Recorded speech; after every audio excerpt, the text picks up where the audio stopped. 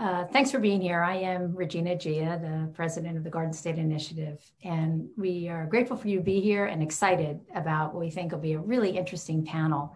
Um, we've brought together uh, a group of individuals who will bring both academic as well as operational perspectives, New York and New Jersey, um, roads and bridges, as well as mass transit. So uh, we're looking forward to the discussion for the next uh, hour or so. Uh, we're going to use a Q&A format. Uh, we've gotten some cues in from individuals who uh, uh, sent them in beforehand. But what we're going to do is leave everybody on mute, if you would, and use the chat function for Q&A um, so that we can, you know, keep it, the flow going. And as a reminder for everyone, this session is being recorded and uh, there are members of the press uh, that are expected to join us today. So with that uh, understanding, I wanted to, you know, uh, get started. Um, I'm going to introduce each panelist and let them make a few remarks, uh, you know, address the audience for a minute or two. And then, as I said, we're going to go into the Q&A um, format that, and I'll be moderating it. Uh, so first up, I'm going to introduce uh, former Commissioner Jim Simpson, and he's currently the chairman of Victory Worldwide Transportation. He's also a former DOT commissioner uh, under Governor Christie, as well as the former head of the Federal Transit Administration under President George Bush. Jim was appointed uh, also by Governor Pataki to serve on the board of the Metropolitan Transportation Authority, and he served there for 10 years.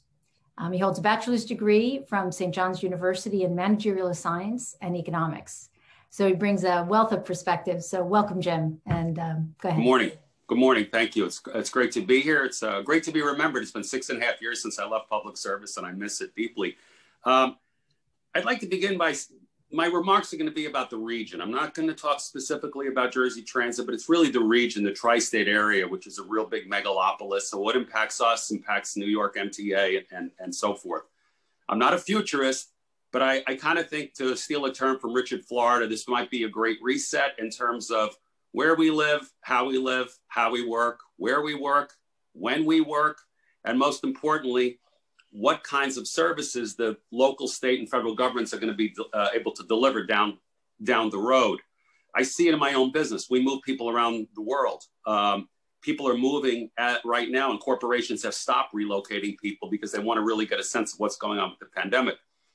Also, I'm a little concerned. I don't believe, with respect to the services that government delivers, that we felt the financial impacts of COVID or reductions in services or reductions in scheduling if it were transit, uh, mostly because the federal stimulus, both the past that's now going to kick in and talk of future stimuluses have given a lifeline, and in some cases to the private sector, uh, but also to states and local governments. I know from my own experience, both on the federal level and the state level, we've always looked to uh, the federal government for help, and historically we've always gotten it.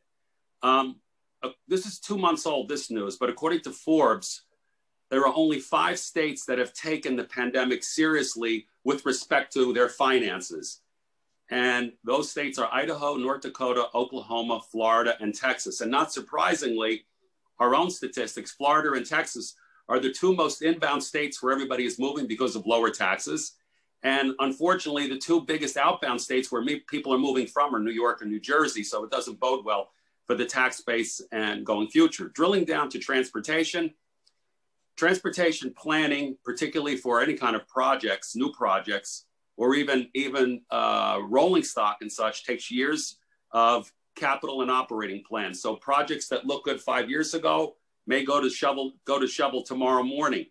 Uh, I think because of everything that's hit us, and for me, uh, look, I'm not an economist and I can't tell you for sure, but for me, the short run with this pandemic is going to be five years because of a whole host of reasons that maybe we can get into later. But my point is in New Jersey, it's not just New Jersey Transit, but the Turnpike Authority really needs to look at their capital and operating budgets, the DOT, the Port Authority, all of the agencies need to look at their, um, uh, at their budgets. And lastly, these, these decisions go way above the boards of transit agencies or the commissioners of DOT Unfortunately, these decisions go, they're at the cabinet level, they're at the governor's level on the state level, at the mayor's level on the city level. And there's no shortage of, uh, of problems. There is a shortage of solutions, however. So let's see. The good news is we're all in this together. Thank you. Thanks very much, Jim. Um, next, I'll introduce uh, Senator Bob Gordon. Um, he was confirmed as a member of the New Jersey Transit Board of Directors on January 13th in 2020. He also serves as one of five commissioners of the New Jersey Board of Public Utilities, which he joined in April of 2018. Senator Gordon has served more than 14 years in the legislature, 10 of those in the Senate, where he attained the positions of Majority Conference Leader and Chairman of the Senate Transportation Committee, the Legislative Manufacturing Caucus, and the Senate Legislative Oversight Committee. While chairman of the latter, the former uh, Senator uh, Gordon conducted extensive investigatory hearings on deficiencies at New Jersey Transit. So he brings a wealth of perspective, both uh, as you can hear from the legislative as well as the board and the BPU as well as transit. So welcome, Senator. Uh, thank you, Regina. It's, it's, it's great to be here with all of you. Um, let me uh, begin with the, the standard disclaimer that uh, anything I, I say today are my own views and I'm not speaking for New Jersey Transit or the, for that matter, the Board of Public Utilities. Um, uh, this morning, Regina had suggested that I, I talk about uh, what I consider some of the major priorities facing transportation leaders in New Jersey. Um, and while the, um, I think the many of us are thinking about uh, how we deal with the, the, the pandemic, these priorities were important to me uh, before the, the virus uh, struck our country. Um, I would say, first and, and foremost, we need to develop a, a stable, dedicated source of funding long term for New Jersey Transit's operating budget. Unless we can put that in place, all the things that we want to do for, for transit. My remarks are going to focus mainly on transit. All the things we want to do to try to improve that organization can be very challenging. Um, if you look at our, our, our, peer organizations like, like SEPTA, Chicago Transit Authority, Los Angeles uh, Transit Authority, the, the, the Boston agency, they all rely on a dedicated funding source that accounts for about 50% of their operating budget. In New Jersey, in contrast, we uh, have to deal with the vagaries of the annual budget process. Uh, the operating budget changes from year to year, from administration to administration, and uh, that makes long-term planning extraordinarily difficult. And for uh, at least the last 10 years, what has happened is um, every year there has been a transfer of about 400 to 500 million dollars from the capital budget to the operating budget to uh, to meet current expenses. And I believe, I think most most observers would agree that that has had a devastating impact on our infrastructure and the quality of our of our service. Um, but uh, things have changed. If you'll uh, allow me to just make a, uh, sort of a, shout out to my team, uh, with the arrival of Governor Murphy, um, the restoration of New Jersey Transit became a, a major priority, and we've made some major investments in, in infrastructure. We're buying new rail cars, 200 buses, new new locomotives. We're moving forward with with new garages. Uh, we're we're replacing the Raritan Bridge, the Portal Bridge, uh, making investments in the Hoboken Station, and on the operations side, investing in in, in IT, uh, uh, filling uh, critical staffing positions, and um, uh, re-engineering critical business uh, processes. But I would argue to maintain the momentum that we've developed and to get where we need to be, we need a new dedicated source, a stable source of long-term funding for operating budget. Now I have three other priorities that I'd like to just throw out there. Um, I believe we need to expand ferry service along the Hudson you know, I don't think we take advantage of ferries as much as we can. I mean, you look at uh, cities like Baltimore, they have a, a, regular ferry service along the harbor. And I think we should link it to an expanded Hudson Bergen light rail system that will link Englewood with Weehawken and give people a 30 minute ride to the, the ferry docks in Weehawken. Uh, I also believe we need to make, uh, we need to continue to invest in our bus service, especially intrastate bus service, which we have found uh, uh, is, is critical to those uh, essential workers.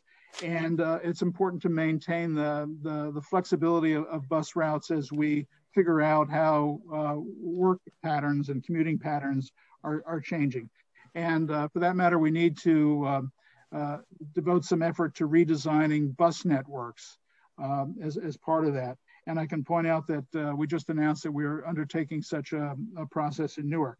Finally, I believe we need to press ahead with the construction of the new Port Authority bus terminal in Midtown Manhattan. And I respectfully suggest that we name it the Senator Loretta Weinberg Transportation Center. Thank you. Thanks, Senator. Appreciate that. That was a, that was a lot. So we'll get to chew on a lot of that, I think, as we go uh, go forward. Okay, next I wanted to introduce uh, Nicole Gelinas. Uh, Nicole is a uh, senior fellow at the Manhattan Institute, a contributing editor of City Journal, and a columnist for the New York Post. Her areas of expertise include public transportation and infrastructure, and public transportation and public transportation. Uh, Ms. Gelinas has uh, published analyses and opinion pieces in the New York Times, Wall Street Journal, Los Angeles Times, and other publications. She holds a BA in English Literature from Tulane University. We're really glad to have you with us, Nicole. Good morning. Thank you, Regina. And it's nice to be with all of you this morning.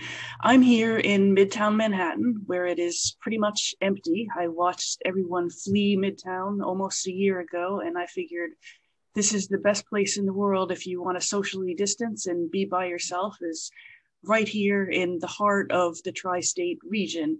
And, you know, I say that kind of jokingly, but things really haven't started to improve in, in terms of foot traffic at all. You know, their statistics show that fewer than 20% of office workers have gone back to their offices. That is certainly true if you are walking around here. We got a little bit of, of regional Christmas tourism and maybe a few dozen people uh, every hour going out to look at the Christmas tree and the Christmas lights. But since that is gone, we are probably close to back at the foot traffic foot traffic of last April or last May. And that's pretty devastating, not only for New York City's economy in the near term, but also for the tri-state economy. If you think about the 60 year business model, not only for New York City, but for uh, Northern New Jersey, for Southern Connecticut, and for Long Island and Westchester, it has been pack white collar jobs into the core of Manhattan below 60th Street, 60th Street, and then use mass transit to bring people to those jobs every day and send them home at the end of the day. So if you think about Manhattan below 60th Street, has 100 or had before the pandemic 150,000 jobs per square mile. It had, uh, you know, even though Manhattan has only 20% of the city's population, it had 40% of the city's retail jobs, had a disproportionate share of white collar and six figure jobs. And this only works if mass transit works. So every day, almost 4 million people would come onto the island of Manhattan, go home at the end of the day. Uh, 600,000 of those 4 million daily Manhattan commuters were from New Jersey on New Jersey Transit, on trains, on buses, and on the PATH station. So, unless we figure out a way to get people comfortably back onto mass transit, including New Jersey Transit and in the other uh, New Jersey transportation options, we're not going to rebuild Manhattan's economy anything close to what it looked like before the pandemic. And that harms not only the city, but the region, because this is the, the, Manhattan has been the dense wealth creator where people come into the core of the city, take their money home with them, and spend it at home, whether in New Jersey or in, in the other suburbs or other city boroughs. So, what are some of the things that we need to think about in terms of can and should we rebuild the core of the city by recommitting to transit? Are people going to work at home forever? Probably not five days a week. I don't think people are happy sitting in their bedrooms five days a week and, and not, uh, not seeing their colleagues, their clients, their vendors.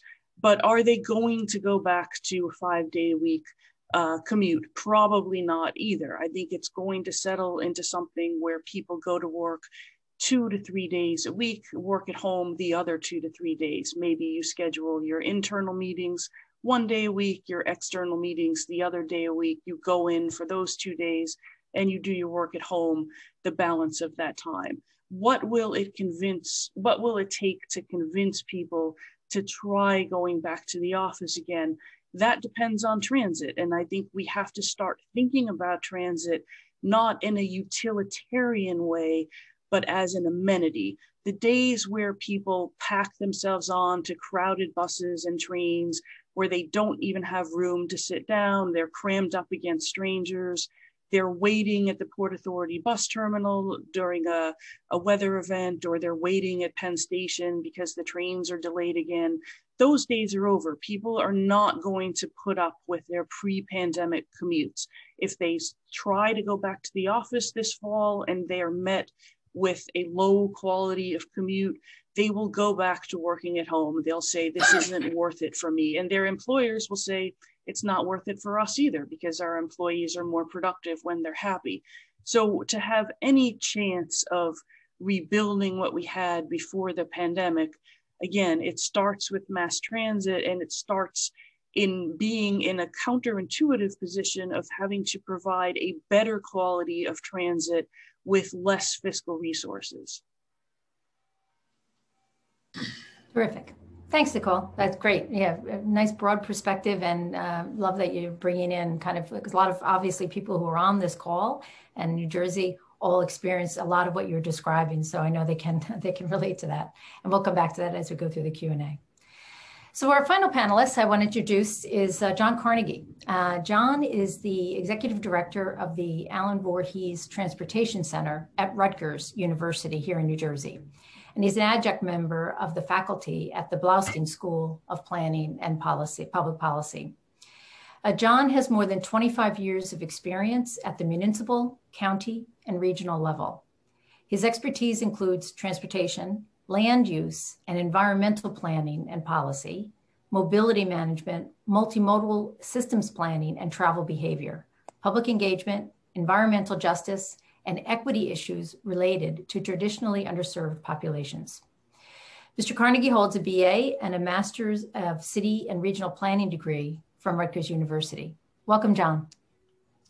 Oh, thank you very much. It's a, a pleasure to be here with uh, this esteemed panel. Um, and uh, uh, I'm happy to kind of share my thoughts about uh, where we are in the pandemic and, and what's ahead of us. Um, it's certainly an interesting and, and challenging time. Uh, I think uh, Jim suggested that uh, transportation decision making um, is a years long process, and we're we're stuck right in the middle of needing to figure things out in a matter of months. Um, so just the the singular challenge of adapting our uh, our, our, planning processes to, to deal with a very dynamic situation has been, uh, you know, uh, something that has been vexing for many uh, transportation agencies. Uh, we, we think in decades, right? We do 2040, 2050, 2060 plans, not, uh, you know, figuring out on fly how to provide best service available. the Voorhees Transportation Center, since, um, since the pandemic, we've been focused on, on kind of documenting how mobility uh, in the region and elsewhere in the country has changed, and and more importantly, kind of thinking through how uh, pandemic-induced behavior changes may impact mobility in the nearer and longer term, um, and how those changes, you know, impact policy and, and planning decision making. So, uh, uh, you know, our mission is really to to understand problems, um, provide information, and inform decisions. And uh, we've been doing that in, in a couple different ways that have uh, I think made it clear to me that that, uh, that, that, we definitely have um, uh, changing circumstances around us. Um, there, I think, will be some resetting of the relationship between uh, people, work, and how we get around.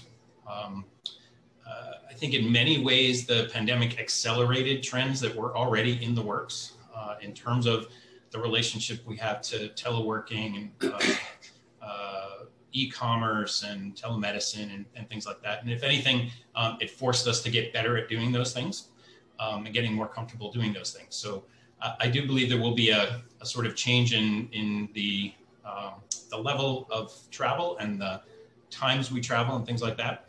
Um, I don't believe there will be a, a fundamental shift away from uh, cities because uh, cities have been attractive over the millennia for many, many reasons. Um, and we need to come together to, to uh, support economic activity and uh, innovation and things like that. So I, I think that um, there may be a recalibration of, um, of that relationship between people and central headquarter locations, perhaps. Um, but I think that the region, our region itself, um, is is going to ultimately still remain pretty attractive to uh, to economic growth. Um, uh, New York City will uh, be reborn, I think, in in maybe a slightly different way, but um, will still be an amazing international city.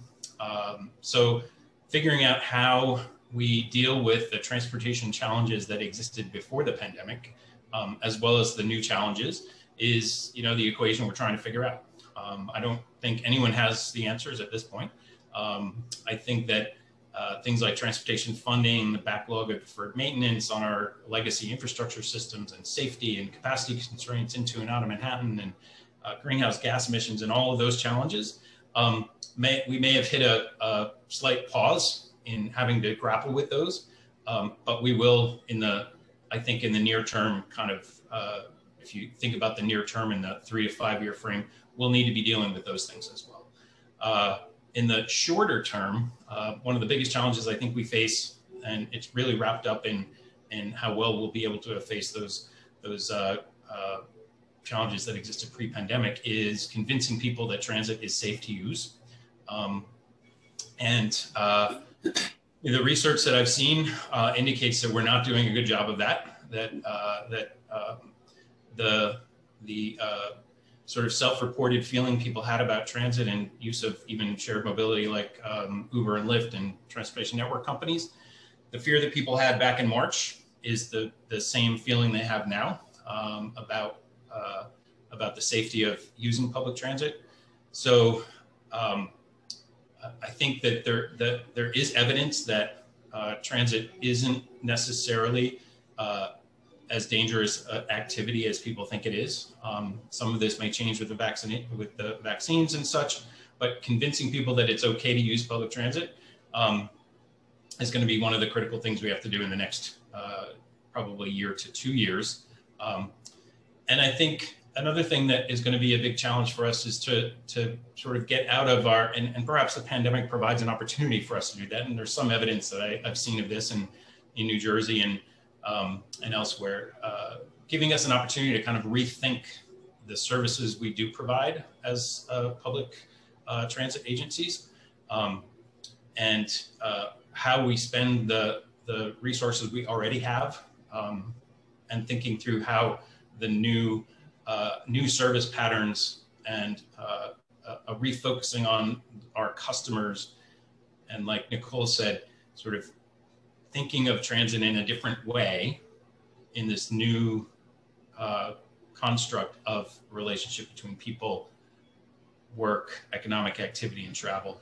Um, I think is a great opportunity for us to to uh, to fix some of the long-term issues we had with with uh, equity issues, with the way uh, public transit services were were provided, and how we serve many of the communities that are not Manhattan uh, in New Jersey and the other suburbs around New York. Um, this is a great opportunity for us to rethink rethink that, perhaps right size the services that we are providing um, in terms of the times of day and the and the overall uh, amount of service in a way that is actually ultimately better for uh, economic activity, society, and, and everyone that it serves.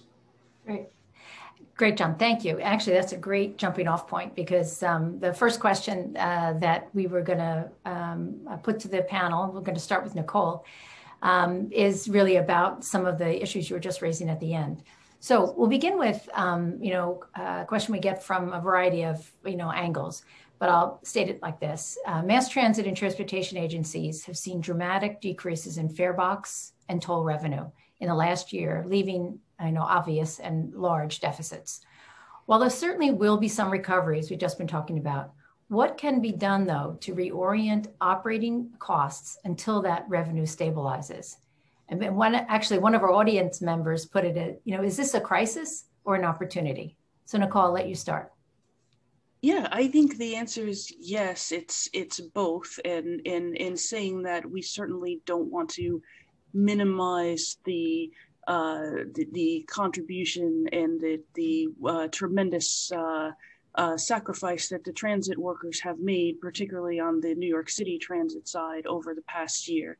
But for the moment, transit agencies, whether it's the MTA, New Jersey Transit, Path System, the Port Authority, really depending on federal rescue funds and not in a long-term strategic manner but you know the cares act offered money for transit to tide them through through the end of 2020 and then the rescue act that the former president signed in in, december uh, signed another package to tide them through through most of this year 2021 so for the most part that money takes care of the immediate operating deficits.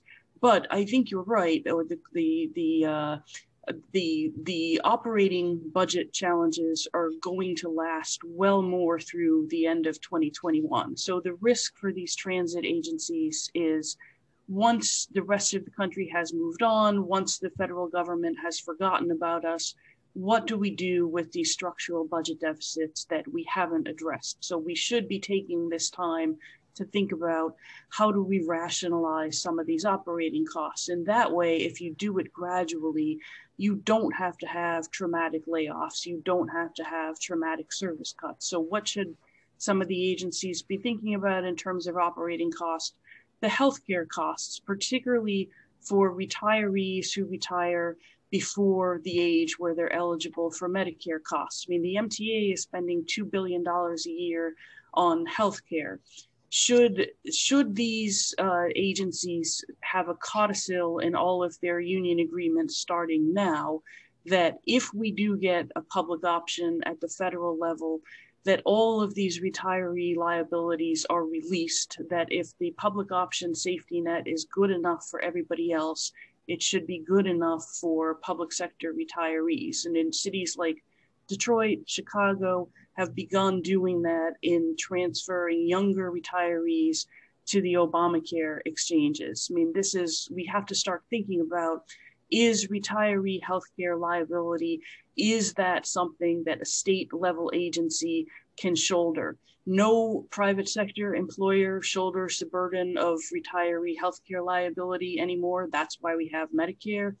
And at the federal level, we have decided that this is something that the federal government should do after the age of 65. So, why is it that these agencies are still stuck with that liability? I think that's something that we're going to have to consider. And things like do we need conductors going up every single commuter train and checking each ticket manually? Or should we go to a gated ticketing system on the commuter rails, just like Europe and developed Asia have, where the conductor ticketing is spot check? So they may check one out of every 20 people for a ticket. You know, you can do this based on random seating, so there's no racial or gender profiling. And if you haven't paid your ticket, you pay a $250 fine, a big deterrent to not having your ticket. So, and another thing is two person train operation on, on the subway system side. Do you need two people on every subway train or can you use automation to go down to one person? Again, don't have to do this with layoffs all at once. You could phase these changes in over five years, even over 10 years, but you're in a much better position coming out of this in, in 2024 2025 if we start to think of some of these union concessions and some of these long-term liabilities now rather than wait until 2025 and see we've still only got 60% of our ridership and we're not getting any more federal rescue funds and so we have to make all of these traumatic cuts all at once and send away what's left of the ridership. Okay good. Thanks. Thanks nicole. Bob would you like to make any comments? Yeah, um, you know, first of all, I I, uh, I think Nicole makes a number of good points, and um, I would say that actually, from what I've seen during my short stay at, at, at New Jersey Transit, we are undertaking a number of the uh, suggestions that that Nicole made. Um, you know, obviously. Uh, more fundamental changes re- require some discussion at the collective bargaining table. Um, but um, you know, when the uh, the new administration came in, um, the governor called for a comprehensive management audit of the organization. An organization called North Highland came in, looked at all the critical business processes, procurement, IT, recruiting, uh, found, as I think we all uh, suspected, a, a, kind of an archaic process, a lot of a lot of paper moving around. And uh, in the in recent months, we've been making major investments in IT and software and apps for our customers, contactless uh, fare uh, collection, um, and and working on these internal processes to achieve the efficiencies that I think you know should be step one uh, before we start you know restructuring the organization. But I you know I think we're moving in the right direction. Great. Great. Um, we're starting to get a lot of questions in, so if you don't mind, I'm actually going to go on to the next question and keep it moving along. And, and Bob, you're actually going to get to answer this one first, and then we'll go on to Jim and Jon. Um, so, um, and it's got to do with, um, you know, the funding you actually mentioned in your opening remarks, Bob. So, you know, declining car co commuters uh, using gas, um, you know, vehicles triggered a gas tax increase last fall. The gradual move to electric presents similar issues. What responsible steps can New Jersey take to stabilize transportation funding and acknowledge the public's interest in sustainable energy? And uh, one of the viewers added as well, and could you, you know, what do you think about monetizing assets? And do you see that coming back into something under consideration? So we'll start with you, Bob. Okay, well, uh, thanks for that that question. Um, you know, I actually had the um, the benefit of being in the the Senate when uh, Senator Sarlo and Senator Oroho were developing the, the gas tax uh, legislation in, in, 2016. And I don't think they or really any of us thought about the potential impact of uh, the growth of electric vehicles on uh, gas tax revenues. And we certainly didn't think about the impact of a, a pandemic. But uh, clearly, um, electric vehicles are, are in our future. If I could just give you a say a few words about what's been going on in New Jersey there. Uh, we're we're expecting a major growth in the, population of electric vehicles.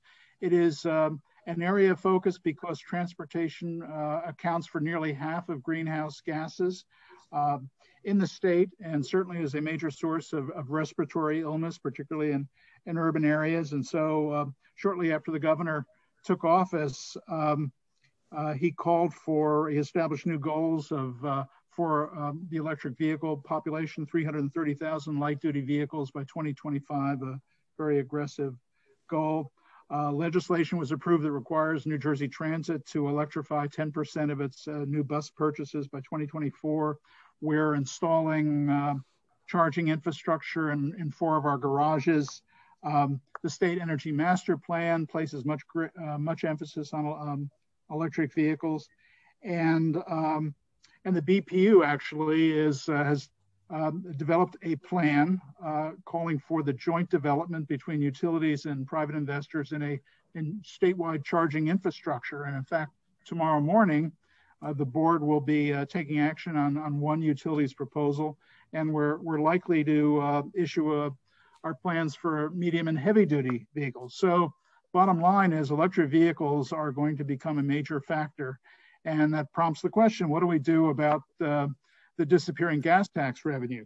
Well, uh, I can tell you that as a, a member of the uh, EV committee of the uh, National Organization for Regulatory uh, uh, Commissioners, utility commissioners, this is something that every state is dealing with. I'm not sure anyone has the answer yet, but a number of, of proposals are out there. I thought just for the benefit of the listeners, I'll, I'll throw out some of the ideas that have been, um, have been proposed, uh, none of which I think is under serious discussion in New Jersey. Uh, but some states, uh, including those in the um, I-95 coalition um, in the Mid-Atlantic are exploring the idea of replacing the, the, gas tax with a tax on vehicle miles traveled. Um, other states such as Washington State, are considering a, surcharge on vehicle registrations annually with the revenue dedicated to transportation funding.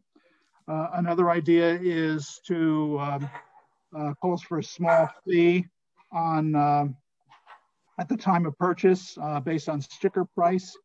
And given the fact that um, many states exempt electric vehicles from sales tax and the federal government provides a, a, a, um, a tax credit of several thousand dollars, that um, that fee is not expected to be onerous and yet might generate a, a good deal of revenue.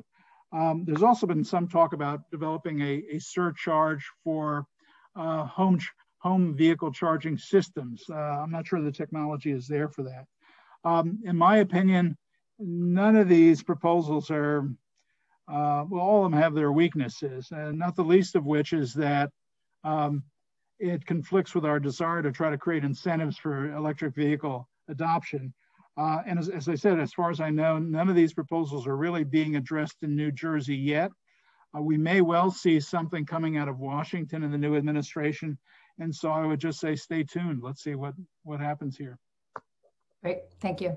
Um, Jim, anything you wanted to add? Because then I'm going to go on. I know a lot of people want to hear about Gateway, so I'm going to move on to that in a minute with you. But anything no, you want to add to just. You know, look, having served on the MTA board, chairing New Jersey Transit, uh, public agencies are not, they don't have the DNA to do what needs to be done to cut costs. It's just not going to happen because at the end of the day, you know, it's the politics gets in the way. I think I, I close by saying, look at the airline model we haven't even begun uh, any transit agencies in the country haven't even begun to look at reducing costs. That should have been done four or five months ago. We're going to go into another year and i guarantee you, you're not going to see any reduction in costs any real meaningful reduction. But if you look at the airline model private sector what did they do?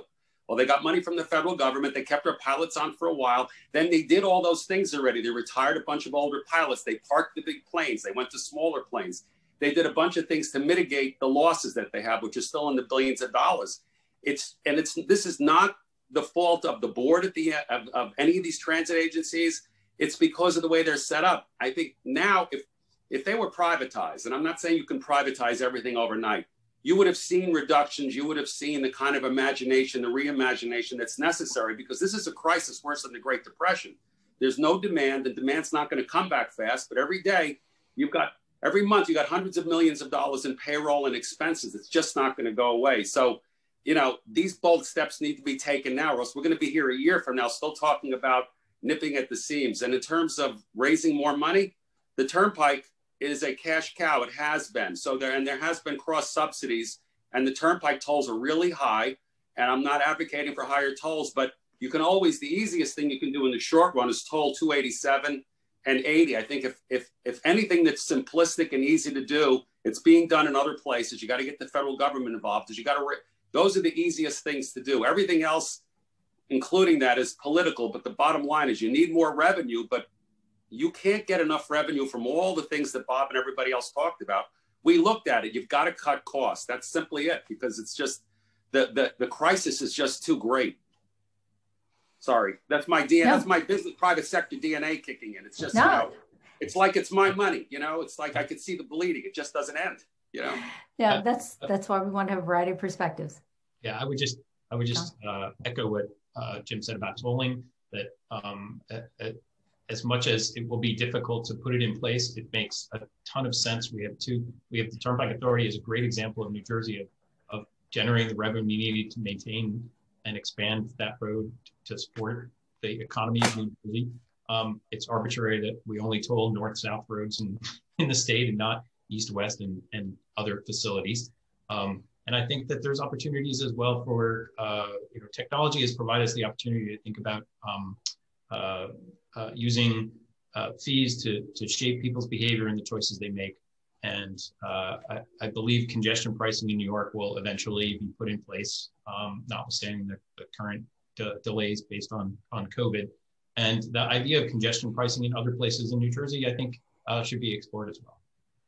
Can I throw out an idea, Regina? Yeah, real quick, it's going to go to Gateway. Yeah. Go ahead. Yeah, just, you know, this was something that was uh, looked at in the legislature bef- uh, just before I left, and that was the idea of, uh, of using impact fees. Um, you know, the, uh, people build these large um, apartment buildings in places like Jersey City and, and Hoboken. They have a very substantial impact on mass transit services. Um, probably uh, enhance the value of the of the uh, real estate investment and yet the um, the developers really share nothing in the, the, the costs that they impose on the system. The legislation is already in, in place authorizing impact fees in the municipal land use law, needs some fine tuning and it needs to be, uh, uh, if we go this route, it needs to be, uh, uh, uh there needs to be an objective formula. Uh, but I think there's an opportunity to um, for developers to share the cost of the impacts that they Im- impose on the community in terms of the mass transit system. It's something that I think deserves some exploration. Yeah, we actually had a question about that, but uh, I would, um, building on what Bob said, um, thinking about it beyond the impact of the initial development is really important as well because there are ongoing needs for operating support. And uh, you know, we wrote uh, the Voorhees Transportation Center work with uh, uh, Assemblyman DeCroce years ago um, on uh, legislation to create special benefit districts, which are would be similar similarly organized, so that uh, that places that wanted uh, additional transit service or benefited from transit service would be able to to assess um, commercial and or residential properties uh, a, a, benefit fee that was associated with the service they're getting on a regular basis. Great. Thank, thanks for that. Thanks for all those ads. Okay, um, so we've got um, a variety of kinds of questions around Gateway, and uh, Jim, I'm going to start with you. Um, so, and I'm going to characterize it in this way. So, there have been recent massive infrastructure projects in our region, a lot in New York, the Second Avenue Subway, the Moynihan Train Hall, and we're starting work on the Portal Bridge, of course, as the first phase. Now, one part of the questions are with all the uncertainty, right, around not just work arrangements and as Nicole mentioned, you know, businesses willing to bring their employees back and insist that they come back. And even new technology, um, you know, when you really think about the changes, we talked about electric, but there's many more, you know, uh, innovation coming along. If you really think about all those things, number one, do we still think Gateway is the right way to pursue? And if the answer to that is yes, there's a couple questions about funding. Do we really know how to generate the funds associated with it? So, Jim, we'll start with you about, you know, does it still make sense um, given all these changes and uncertainties that we've got and technology? Yeah, on a merit basis, it's the number one project in the country. It has to get done. These are, in the past, that we called them 100 year projects. They're now 150 year projects. The way you build a tunnel today compared to the way we did it, I think that tunnel was completed in 1905 or 1915. It's well over 100 years ago. As a matter of fact, it was built a couple of years before the Spanish flu, and look what happened to the city afterwards. So by the time the tunnel is built, you know, with the pandemic in mind, the pandemic is going to be a distant memory. We, before the pandemic, you could only get 26 uh, trains. I think it's 26 trains an hour going in in the AM peak, right?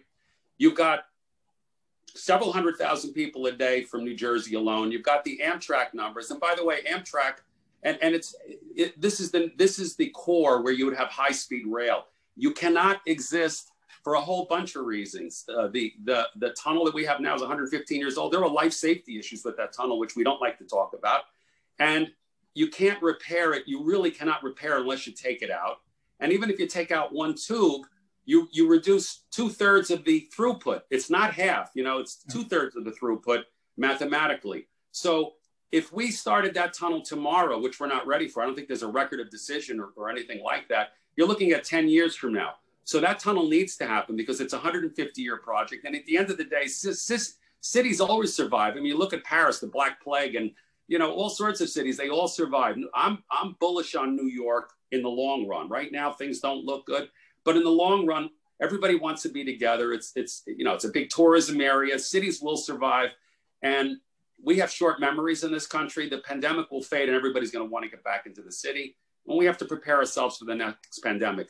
With all the money that's being put out, with these trillions of dollars, and all the money that's wasted, um, this the the the the, uh, the least phase one, which was the tunnel and the portal bridge, is a drop in the bucket. It has to get done. It's it's been the number one project since uh, I joined the FTA in 05. It's still the number one project in the country. And one thing I'd like to leave you with, the reason why I I, I get on operating costs, because we take capital dollars, we put it into operating. A dollar saved on operating is a dollar for capital. So these amount to, if you were to cut the cost properly for these transit agencies, you could probably self-fund most of this tunnel. It's, you know, and I tell you right now, with the number of ridership that you have and the operating costs at these transit agencies, you could put everybody in an Uber every day. You wouldn't have to worry about spacing or anything else. You could put everybody in an Uber. The, the, the subsidy is so large right now because, uh, uh, because nobody's riding the, the transit system. So you need the Gateway project. It has to happen. Okay, so I'm going to go to Nicole. I'm going to ask you to comment just from York perspective, and then Bob and Jon, if you want to add anything on. Go ahead, Nicole. Yeah, it's it's very trendy right now to say we can do with the Hudson Tunnel what Governor Cuomo did with the L train tunnel reconstruction, which is rather than shut the L train tunnel down, the governor uh, he uh, put a team of academics to rethink this and just racked all of the cables and the infrastructure on the inside of the tunnel rather than take away the bench walls where all of the existing infrastructure was, take those apart, uh, take the old infrastructure out and put new infrastructure in. That would have been a couple year project with no L train service, and the governor maintained much of the L train service did this more quickly and cheaply just through racking the cables. But there's no uh, there's there's no certainty or even no evidence that the L train uh, tunnel, the way the governor did it, will actually work in the long term. The engineers who were hired to come study this, who were not from academia, came and testified before the MTA board. I guess it's going on two years ago now, and said yeah, you can do it this way, but it probably won't last as long. You're going to have to come back in 20 years and do it again because all of this infrastructure is exposed now. You're not you're not getting a 50, 60 year rebuild like you would if you took apart those bench walls. So do we want to do this the right way and have this be as as Jim said, you know, a multi-decade project that's actually finished or do we want to do it the kind of stopgap way and have to come back and do it again in 20 years. Plus, this tunnel is different than the L train tunnel. There's not a lot of clearance room to re-rack cables and infrastructure and still have the trains going through and still have room for people to exit in the case of a, a fire or another emergency. So I don't think we should be blithe, and of course, no one here is being blithe about saying, "Oh, well, this worked on the L train. We can just do this on on the Hudson River Tunnel." And again, as Jim talked about, there are capacity issues. I mean, you can't you cannot increase the number of trains going through one tunnel. So I think yes, we do need another Hudson Tunnel. What we should think about doing a different way is do we really need to build another Penn Station underneath Penn Station, which is the Penn South project? I think that's something we can we can think about doing a different way. Should we be through running these trains into Queens so that you go straight across from New Jersey to Queens? You're not using Penn Station as a hub. Again, that would be more of the European or the developed Asian model. And I think that's something we should be thinking about where we just have one regional commuter system spanning uh, Queens to New Jersey, where you don't you don't have a sort of uh, uh, a separation and a wall of Penn Station between the trains coming from New Jersey and the trains going out to the east. Okay, thank you, Nicole. Hey, Bob, could you talk about the funding a little bit? You know, how do you see? I mean, I'm assuming you know disagree or not with the need for it, but from a funding perspective, your your perspective on that. Funding for for Gateway. Mm-hmm. Well, you know, um, don't have. Um, you know, I'm not sure we we we need to make major alterations. I mean, the, the last time I checked, it's uh, a heavy uh, federal component, I think half, and then the other half split between New York and New Jersey. And I uh, forgive me, but I think Governor Cuomo's suggestions that this could be like the L train project may reflect the fact that he doesn't want to pay for it.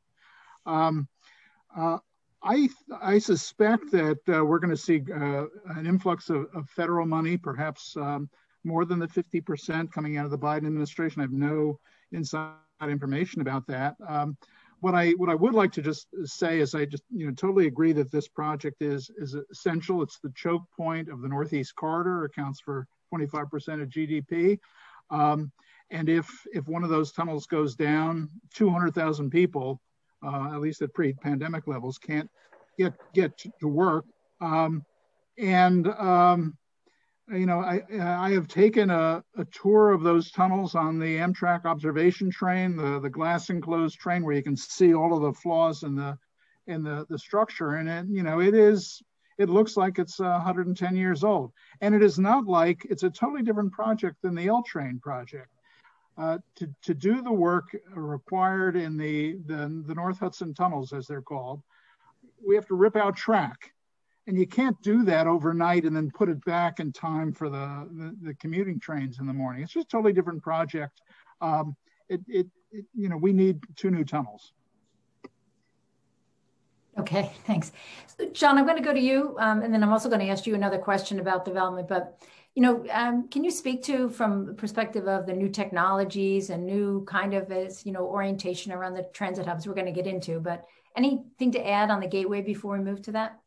Uh, you know, I would just say that that uh, we can't lose sight of the fact also that um, it's not just capacity um, that's important. Uh, the redundancy and resiliency in this corridor that doesn't exist today is uh, critical for tomorrow, especially as um, we're facing the challenges of, of, climate change at the end of the century and things like that. So um, th- another argument uh, in favor of, of moving forward is that redundancy that, that we really do need into an of Manhattan.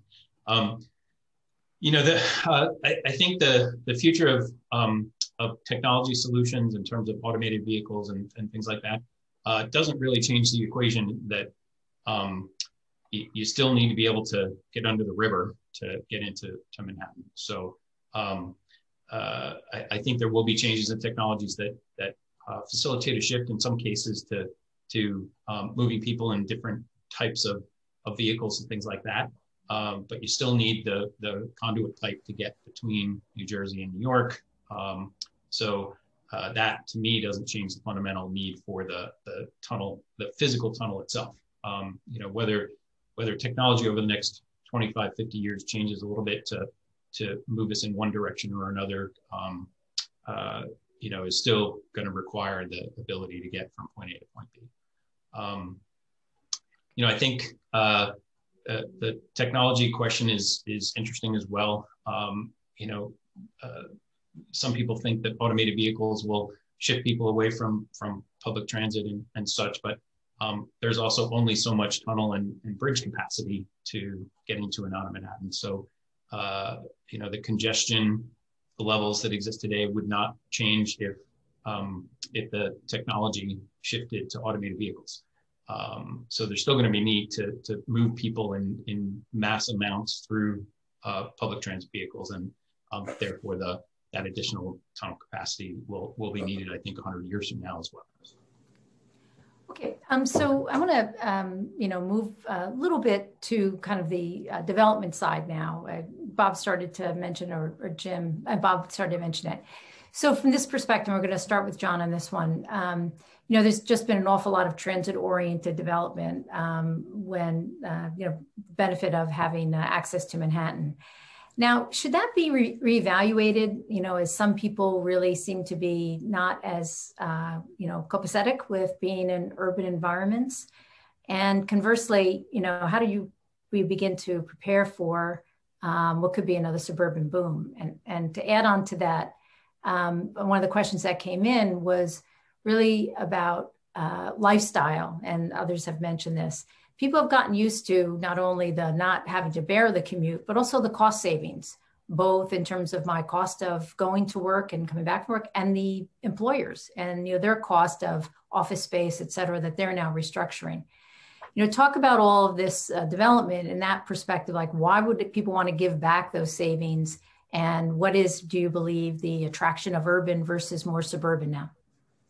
Yeah, you know, I think um, a couple things. Uh, lots to unpack in, in that setup. But uh, first off, um, the I think the scale of density that uh, is most associated with um, uh, transit-oriented development outside of the, the, the core of Manhattan um, is not the type of density that uh, that people are are as much afraid of from a pandemic perspective.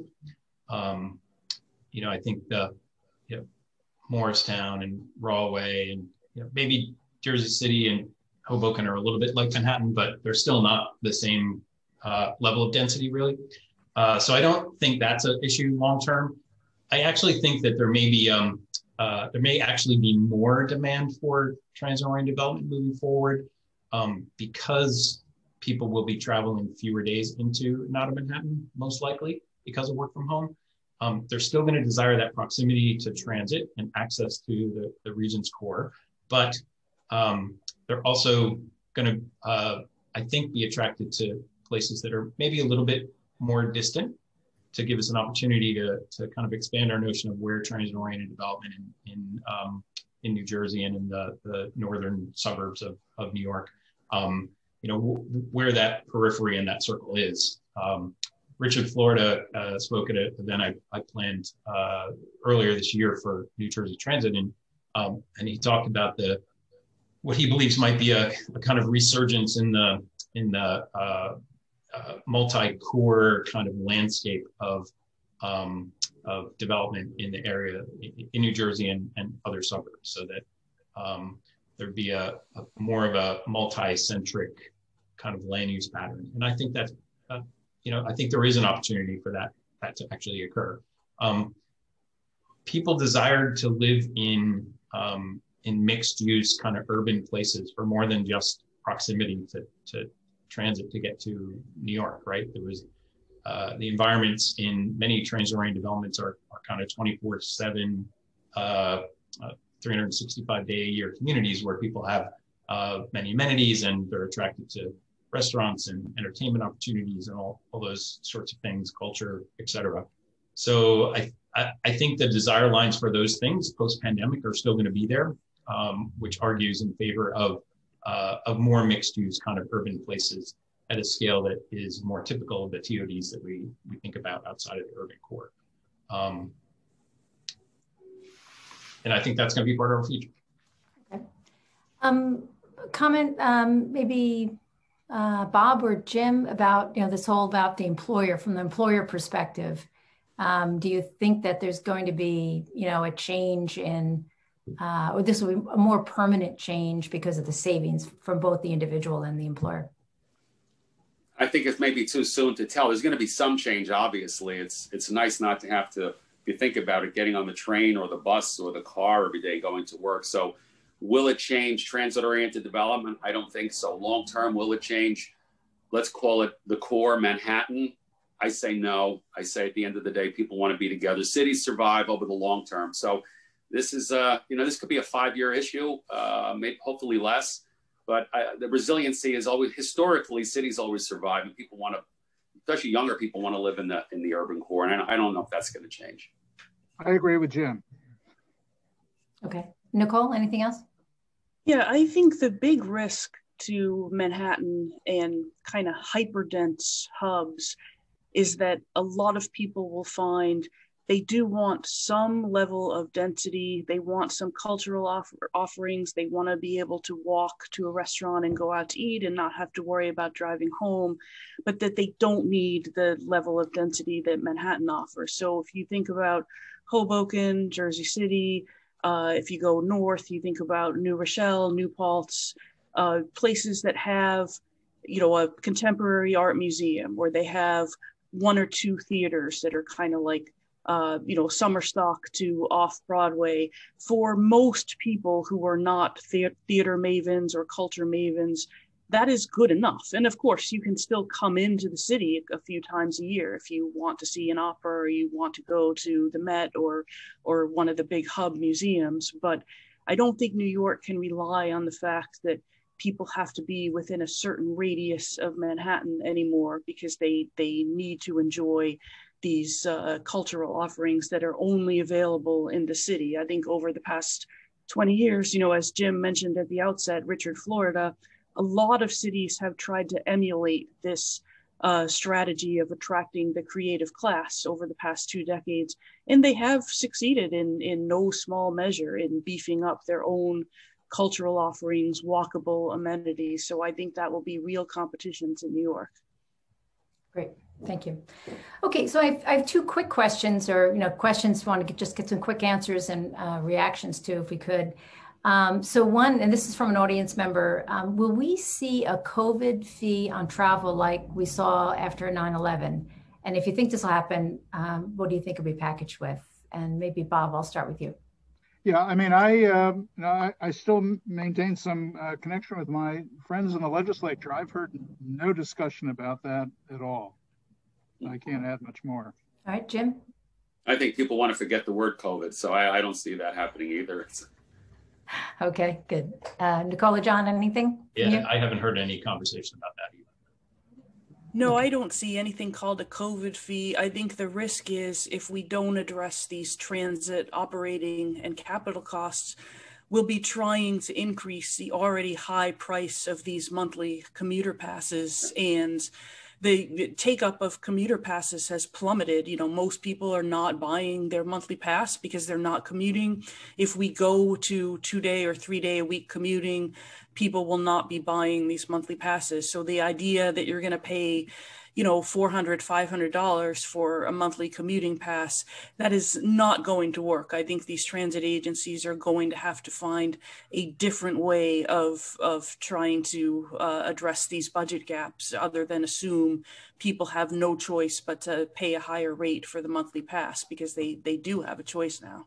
Yeah well building on that actually and uh, we'll start again with bob. Um, you know what do you think the future schedules look like I mean, do you see any changes in them? And if so, what kinds?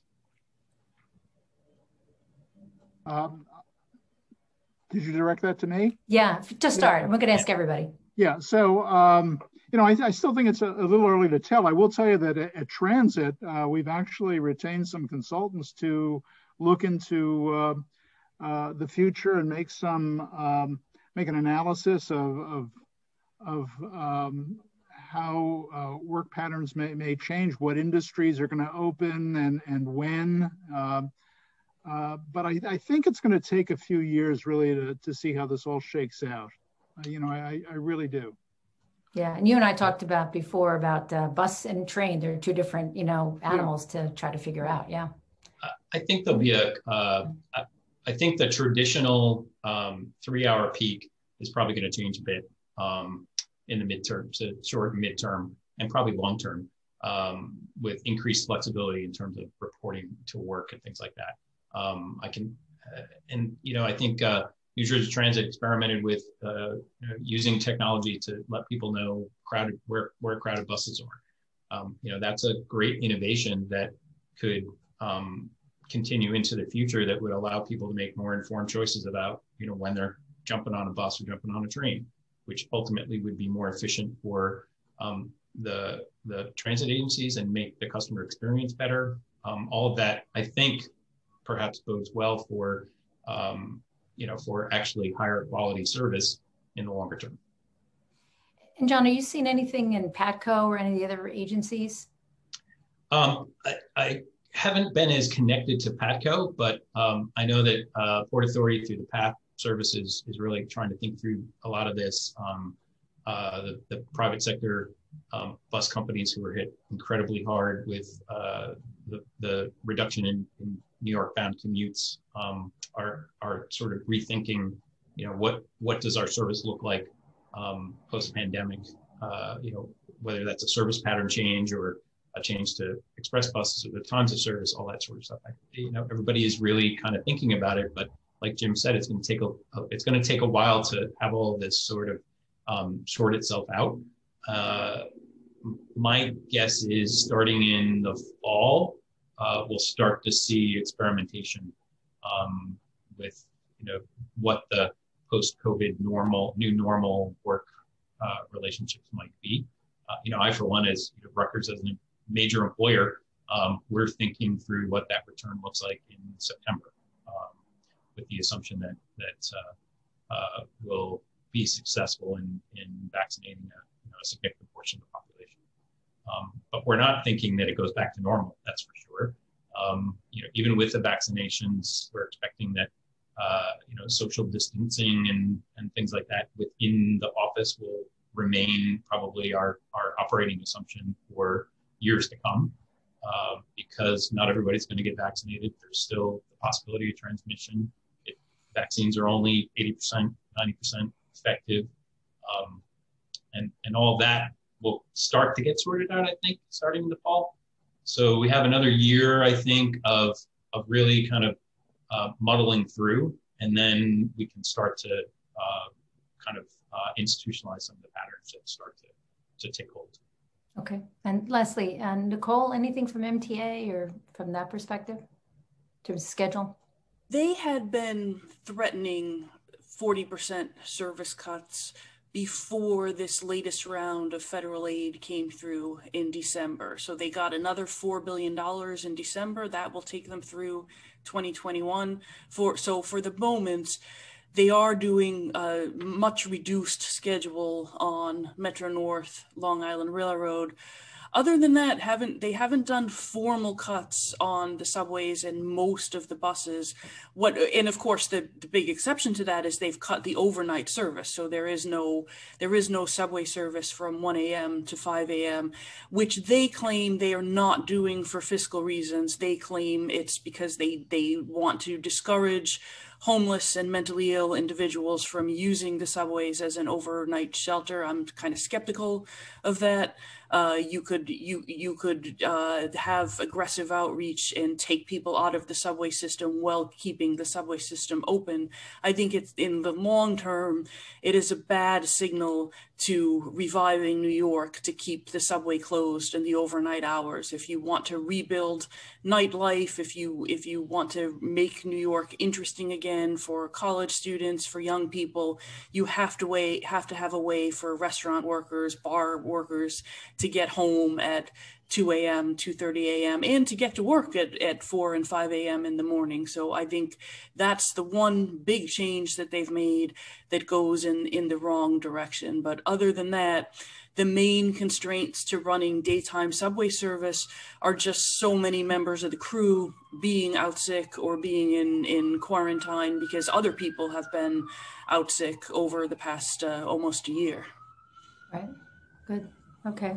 Well, I'm going to thank you, Nicole. Um, I'm going to try to wrap this up and you know give anyone an opportunity when I add anything to what you've already covered, uh, because I hope you know for everyone what we try to do it in the Garden State Initiative is you know bring multiple perspectives and really try to. And this is one problem that definitely will be sorting itself out, as everyone I think has just said in the last couple of minutes, over the next you know months to um, you know maybe uh, longer than that and uh, the, sh- the phasing back to whatever the uh, new construct will be, I think will be fascinating. And the more flexibility, I mean, my my interest and what I was listening for today was, you know, how do you build as much flexibility as we possibly can in how we do transportation planning? Because it's certainly going to be different, and we don't know how. But I'm trying to stay ahead of that.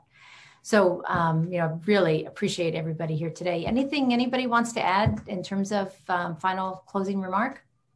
I'd like to add one thing fare fare policy. We're not creative enough anywhere.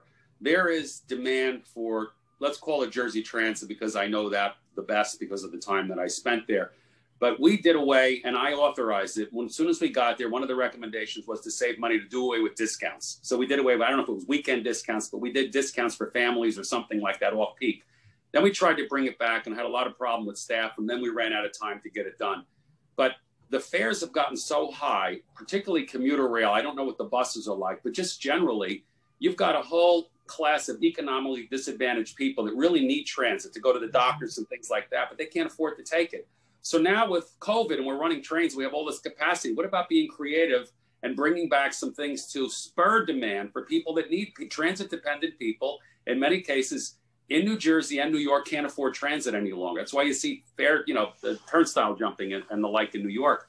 So now's the time. We've got all this capacity to try things to try to spur a ridership. I kind of think that we really need to. If you got all those consultants over there at Jersey Transit, let them work on fare policy because you can't just keep raising fares. Like right now, we're going to raise fares again. Then more, less people are going to ride transit. It's just you know, simple supply and demand. So I think fare policy really needs to be looked at, particularly with the economically disadvantaged in the state of New Jersey and also in New York. Good thank idea. You. Thank you. Yeah, no, thank you, Jim. Uh, yeah, as you say, uh, you know, really thinking about the different, um, you know, sectors that use it. It's not just for work community; it's for everyday life as well. And thinking about that from a fare structure, I think is terrific. Um, Jon, anything you want to add at the end? Uh, no, you know, I think that uh, uh, you your word choice of flexibility is going to be really, really important moving forward. And um, I think uh, agility will be key as well uh, in terms of decision making and uh, operations, things like that. Great. Okay. Well, with that, I will uh, close and thank again all of the panelists, Bob, Jim, uh, Nicole, and Jon. Really appreciate your insights. And if anybody has any questions, um, you know, on our website, you can always uh, ask a question or reach me directly. Uh, my contact information is on the website, and we really appreciate everybody's participation today and look forward. We'll be planning future forums on various subjects, and you'll be hearing more about that uh, as we announce them. So Thank you.